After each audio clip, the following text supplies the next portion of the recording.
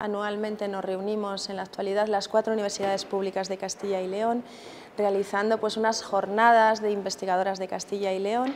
que va creciendo año a año y verdaderamente este año estamos sorprendidos con la aceptación.